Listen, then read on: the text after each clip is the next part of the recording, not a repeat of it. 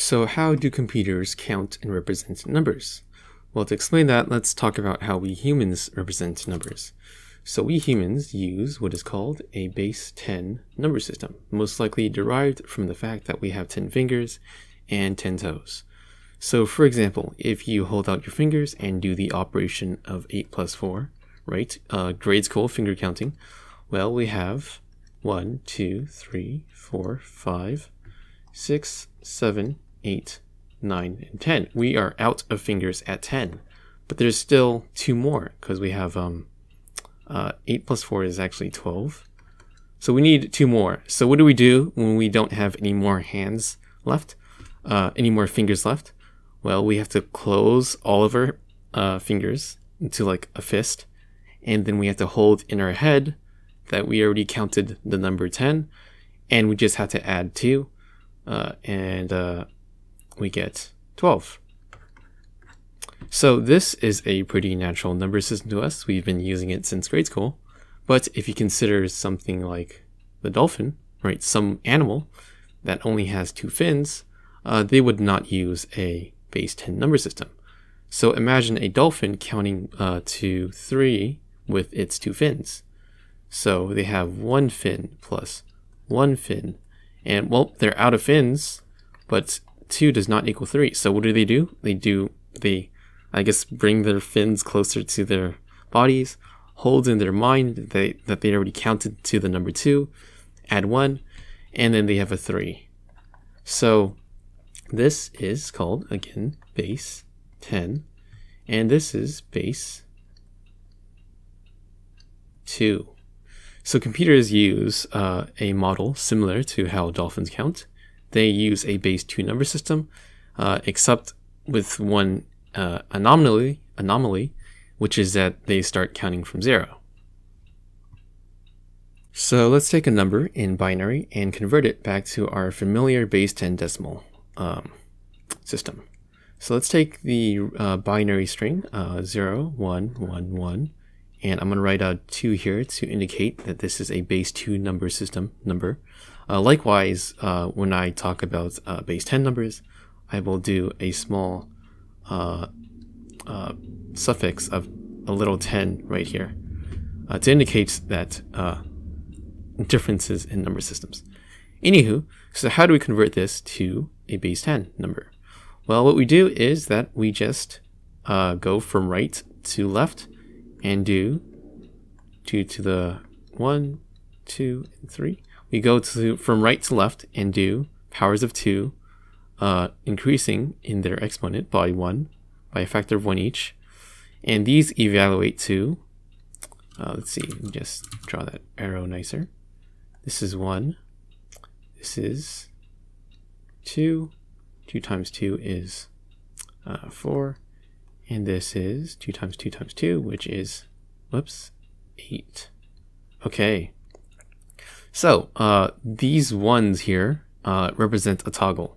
So this zero, you see it's right below the eight right here. Uh, it means that we have no eights. So it's no eights plus, there's a four here, right? So plus four. There's a one underneath the two, so that we have a two. And there's a one uh, underneath the one, uh, underneath to the zero, which is one. Uh, you add all these up, and this is seven. So this is 7 in base 10. And this is also 7 in base 2. We just draw that box a little neater. Okay, so these two are equivalent, just using different number systems. So let's do another example to make sure this really uh, nails home. So let's do, uh, let's do challenge uh, number one. So uh, trying to convert the binary number in base 2 to our familiar base 10. So pause the video. I'm going to attempt, I'm going to assume that you guys attempted in 3, 2, 1. Alright, so again, uh, we count up the powers of 2. So this is uh, 2 to the 0, 2 to the 1, 2 to the 2, and 2 to the 3. So this is uh, 1, 2, 4, and 8. Once you remember the powers of 2, you don't really need to uh, write out these um, powers of 2, but it helps for now. And, uh, well, we have a 1 underneath this 8 right here. So, right here, right? We have a 1 underneath the 8. So that's 8. Plus, well, we don't have a 0 here. So there's no 4s. There's no 2s right here. But there is a 1 underneath the 1. So that's 1. And this represents the number 9 in base 10. So if you got that answer, uh, that's great. Uh, let's do one more just to uh, double triple check. So let's do, uh, let's say uh, this is challenge number two. So let's do uh, one, one, one, and one. All right. So uh, pause the video and see if you can convert this base 2 number to a base 10 number. In 3, 2, 1. All right, so again, powers of 2. Uh, I'm not going to write out the powers of 2 this time. Uh, it's going to be 1, 2, 4, and 8. So underneath the 8, underneath the 8 we have a 1, so that's 1, 8 there. We have 1, 4, 1, 2, and 1, 1. And this is 8 plus 4 is 12 plus 2 is 14 plus 1 is 15. And that is 15 in base 10. So again, these two are equivalent numbers. And if you got it right, uh, pat yourself on the back. But you may have noticed that um, uh, after we fill all these up with ones, uh, are there any more numbers left? Like this is, this seems like uh, the max, and you would be correct. This is the max uh, number uh, for a 4-bit number in base 2. So one major difference about computers is that they have a limited range of numbers that they can count to. So if you ever uh, played around in class with your calculator and you did like a million times a million, well, most likely you would say, hey, uh, there's an error. We can't count that far, and there's not enough sort of memory uh, to uh, count higher than a million times a million. So uh, this uh, is known as the bit, sort of bit width. So 4 bits right? This is the maximum number for a 4-bit value. It's 15. So let me just show you the, um, the table that corresponds to all of the combinations of uh, 4 bits. So 0, 0, 0 right here. Uh, let me just erase all this background stuff. Can I like delete? See, remove? That works. All right, so this is, again, let me just toggle slayer, erase. This is 4 bits. So as you can see, 000 represents 0. Uh, 0101 represents number 5 right over here. Um, kind of weird that I can't draw over it. Um, and 15 is the maximum number of a 4-bit width. That's because we have a 0 over here taking up what would be 16 right? Computers start counting from zero, and that's why it sort of occupies the slot. So if you want to find the maximum number for a uh, for any bit width, right? The formula is 2 to the b, where b is the bit width. I'm just going to write bit width. Uh, minus 1 is equal to the max uh, number uh, representation. So in order to count higher, right, than uh, 15, we, we would have to go to more bits. Uh, so 5 bits would be, so pause the video and uh, see if you can figure out what the maximum number for 5 bits would be. So 3, 2, 1, well it's just 2 to the 5 minus 1. So 2 to the 5 is 2 times 2 times 2 times 2, 1, 2, 3, 4, 5. So this is 4 times 2 is 8 times 2, which is uh, 16 times 2, which is 32. That's 32 minus 1, because we, again, we have to count for this 0 here. So it's 31. 31 is the maximum uh, number that a 5-bit uh, bit width can accommodate for. So if we want to represent more numbers, well, we would have to up the ante on the number of bits. So let's do that right now. Uh, let me just erase all these. Uh, this number table is no longer relevant, relevant anymore. So if you go to this website, uh, go to binary to decimal conversions. Uh, let's convert this number to decimal. So let me just copy this, uh, paste it in here as a text. Paste this here. Let's do uh, 24. Let's do color white. Here we go. Save. All right, so pause the video and uh, see if you can convert this to a decimal number in three, two, one. All right, so I'm gonna assume that you guys took a swing at it. Uh, so again, it's the counting up the powers of two uh, from right to left. So this is two to the zero, two to the one. It's a bit kind of small to write in. Two to the one, two to the two, two to the three, 2 to the 4, 2 to the 5, 2 to the 6, 2 to the 7th. Okay? Because again, the 0 here takes out one of the bit widths. So uh, this evaluates to 1, just right above, 1, 2, 4, 8, uh, 16, 32, 64, and 128. So this is a little sloppy to see. I am sorry about that. But we have 128. Uh, there's a 1 underneath the 128. So with that, we have one of those. We have a 1 underneath the 32, right? So that's plus 32.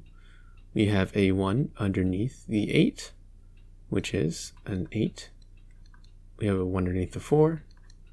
And we have a 1 underneath the 1. Okay, so if we add all these together, we should get the number in decimal. So uh, I am bad at math, so I will just use a calculator. I uh, don't want to mess this up. Let's do this is a lot of old stuff. 128 plus 32 plus 8 plus 4 plus 1. This is the number 173 in base 10. So let's punch this in and see if we got it right. So 173. Check and we got it right. So uh, there are four more to go. Uh, you can uh, practice more if you like on the site. But uh, once we expand to 8 bits, we have a more higher range of numbers that we can represent. We actually have uh, 2 to the, again, 8th minus 1. So 2 to the 8th power is 256, minus 1 is 255. So with, an, so with a bit width of 8, right, 8 bits, 8 bits, the maximum number we can represent is 255. All right. So, so far we've been going converting uh, binary numbers in base 2 to decimal. Deci in base 10. How do we go the other way around? From decimal, decimal, uh, to binary. So there are two methods to do this. Uh, I'll go over them both. Let's go over the subtraction method first. All right. So given the number 13 in base 10, how do we convert it to uh, the binary zeros and ones that represent the same value? All right. First off, let's start writing the powers of 2. So 2 to the 0, 1, 2, 3, and 4. Uh, I just chose this an arbitrary bit width. So this evaluates to 1, 2, 4, 8, and 16. So what we do is that we find a number from uh, left to right, right, from this way. We find a power of 2, these, that is less than the number that we want to um, uh, convert it to, and we subtract and then we use that as the new basis and we keep repeating. So it's kind of uh, easier if I show you rather than explain it. So starting from left to right, uh, is 16 uh, less than 13? No, it's not, so it won't fit. So we have to put a zero here. Is 8 less than 13? Uh, yes, it is. So we can put a 1 here, but we have to subtract uh, 13 from 8 now. That's equal to 5. So is 5... So wait, so it's 4 less than 5, right, this 4. Is it less than 5? Yes, it is. So we can put a 1 here, but we have we also have to keep subtracting. So 1 here. Sorry for the background noise. Uh, so now we have a 1 here. Uh, so is 2 less than 1? No, 2 is greater than 1, so it won't fit. So we put a 0 here. Uh, and then uh, we move on to this final one. So is 1 less than or equal to 1?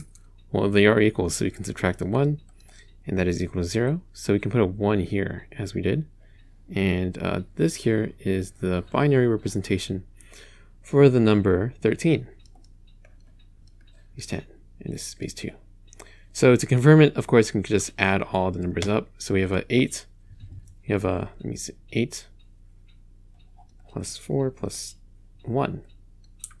Just write that meter.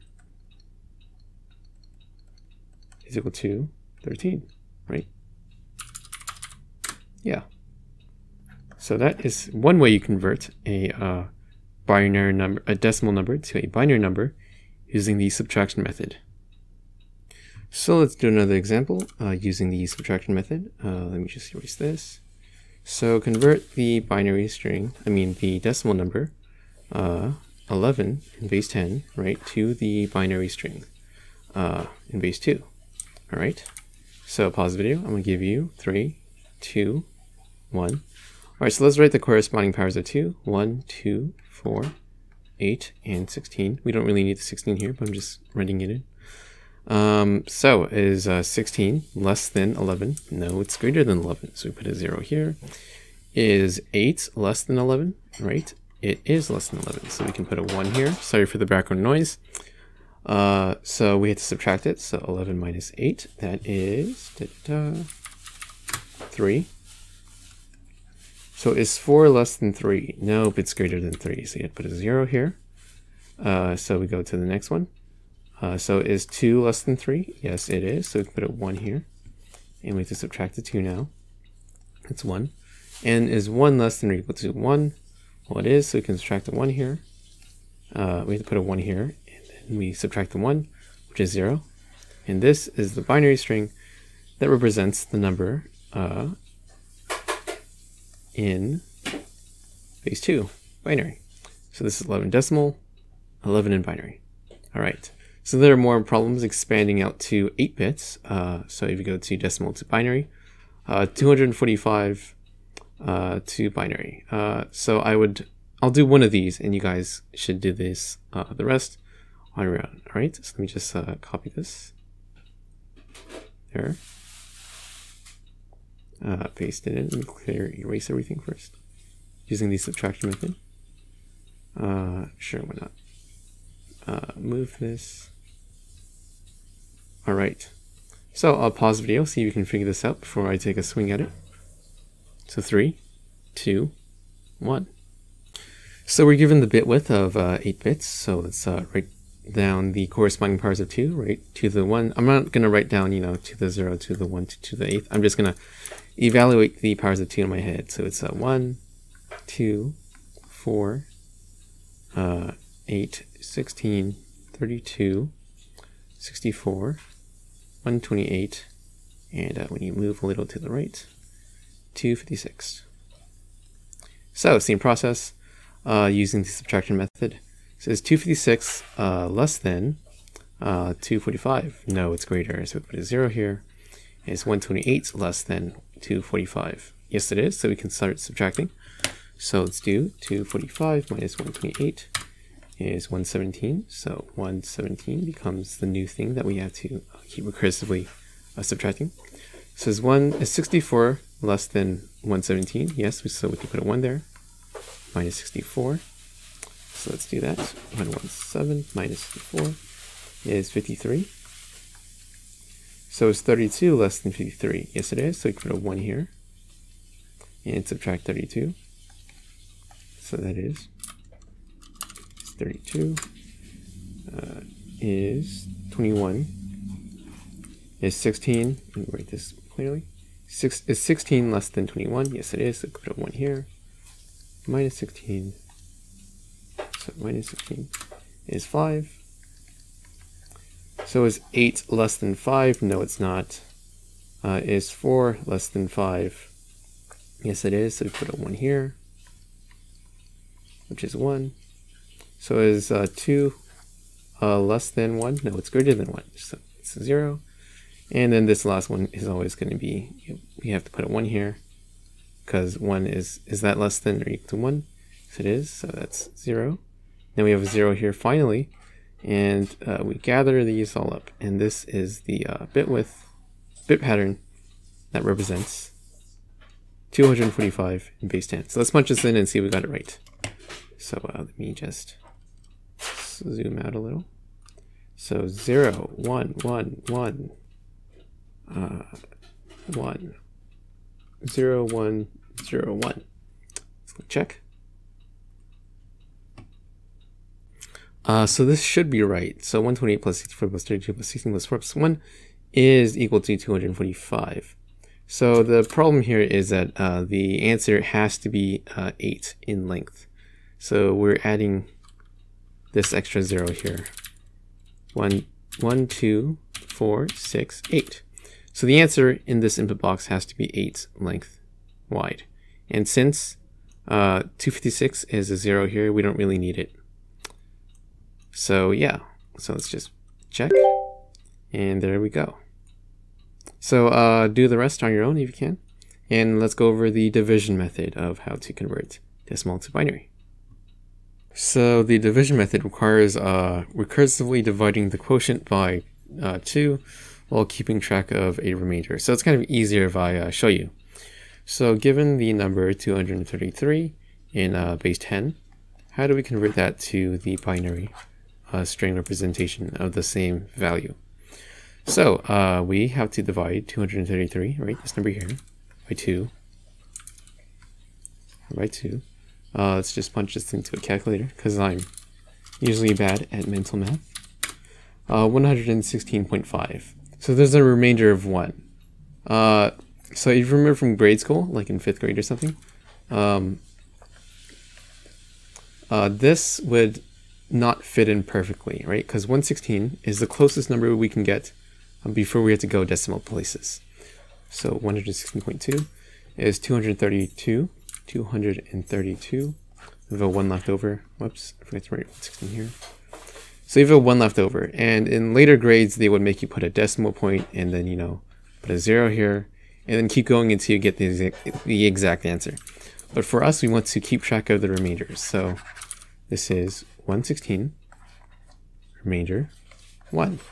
So we take this number and we uh, keep recursively dividing by uh, 1 until we get to uh, 1 and 0. So let's keep going. 116 divided by 2 is equal to, so it's an even number. 116 is even divided by 2, so it's going to fit in perfectly. 58, there's no remainder right? Because uh, if you uh, multiply, uh, wait, if you divide 116 by 2, you get 58. And 58 times 2 is 116. So no, no remainder again. Take this number, divide it by 2. Uh, that is 29. Uh, no remainder. keep going. So 29 divided by 2 is uh, 14.5. So we have a remainder of 1. So 14. All right, let's keep going. 14 divided by 2. So that is an even number. There's going to be no remainder because 2 divided 14 divided by 2 is 7. So let's take 7 and divide that by 2. That is 3.5, so 3, remainder 1. Keep going. 3 divided by 2 is 1.5, so there's going to be a, rem a remainder. So, remainder 1, and then 1 divided by 2, which is 0.5, so there's going to be a remainder of 1. All right, so what we do now is from bottom to top, right? Some here, from bottom, this is bottom, to top, all the way up here. We gather up the uh, all the zeros and ones in this order, and that is our answer for the binary representation of 233. Can't really scroll this well. Me just uh, keep going up. Here we go. So this is, uh, let's see, uh, one, one, one, one, zero, one, right? One, one, one, zero, one. Uh, let's see, zero, zero, one. And this is equal to 233 in base 10. And this is base 2. So uh, to double check your answer, you can always add all these up. So let's convert this back to a um, decimal number and see if we got it right. So let's say uh, this is 8-bit. This is, this is a bit width of 8. So it's a 1, 2, 4, 8, 16, 32. I'm gonna, I'm gonna run out of room before I reach the other. So let me just rewrite this way over here. 1, 2, 4, 8, 16, 32, 64, 128. So 1, 2, 3, 4, 5, 6, 7, 8. Okay. So we have the pattern 1, 1, 1, 1, 1, 0, 1, 0, 0, 1. So let's add all these up. So 128 plus 64 plus 32 plus 8 plus 1. And that is 233. So we got it right.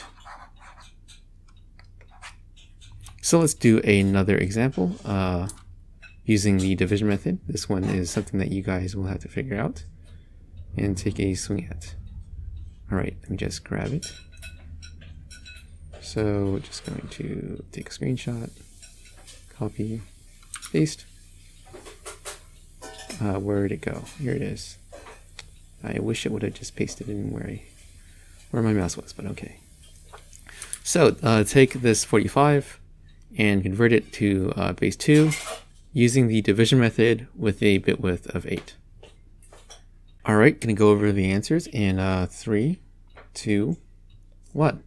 So again, we keep recursively dividing, so uh, 45 divided by 2 is going to be equal to divided by 2, 45 divided by 2 is 22.5.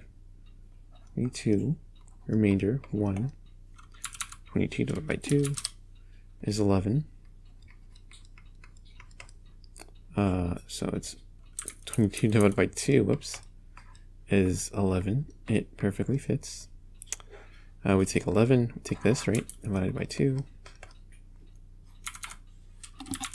So it's 5.5, so 5, remainder, whoops, that looks like an 8. Remainder 1. Keep going. 5 divided by 2 uh, let's see, is 2.5, so 2, remainder 1.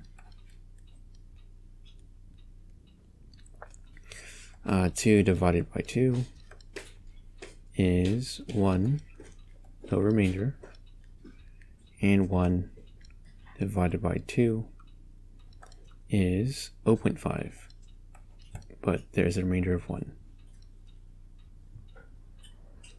So uh, from bottom to top, right this way, we gather up all the numbers and they should equal to 45 in decimal. So it's 1, 0, 1, 1, 1, 0, 1, 1, 0, 1. And base 2 should equal uh, the number 45 in base 10. So let's try to convert this to a uh, decimal number. Uh, if you remember how to do so, pause the video and do that before we go over it. It's a good exercise. So let's 3, 2, 1. Uh, 1, 2, 4, 8, 16, 32. So that's 32 plus, we have an 8 there, plus 4, plus 1. So 8 plus 4 plus 1 is 45. And that is same as the uh, 1 in decimal, right? So let's punch this in. So let me just write this out so I don't have to uh, 1, 0, 1, 1, 0, 1. Okay. Pieces here. So again, we have to make sure the answer is in uh, 8 bits. So 1, 2, 3, 4, 5, 6, 7, 8. So we're missing two more. So we can pre-pad this with two zeros because we have two zeros here, right? This would be 64 and 128. So these don't matter at all. Like they add zero to the equation, which is still going to be equal to 45 nonetheless. But you have to pad it out uh, to get this answer correctly. So let's check and make sure we got it right. And we got it right. So I will leave you with the rest to go, and I will catch you in the next one.